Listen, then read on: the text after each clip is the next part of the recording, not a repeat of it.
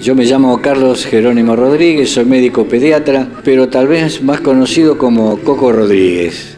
He desarrollado toda mi actividad de médico pediatra en dos lugares, el Hospital Gandulfo de Lomas de Zamora y la otra actividad la he desarrollado en San Vicente, donde tengo el halago de haber conocido a muchísima gente, donde haber cosechado muchísimos amigos, de los cuales me siento muy orgulloso de ser amigo, y la otra faz es la de haber estado y conocido a chicos, verlos crecer, verlos desarrollarse y hacerse hombres y encontrarlos por las calles,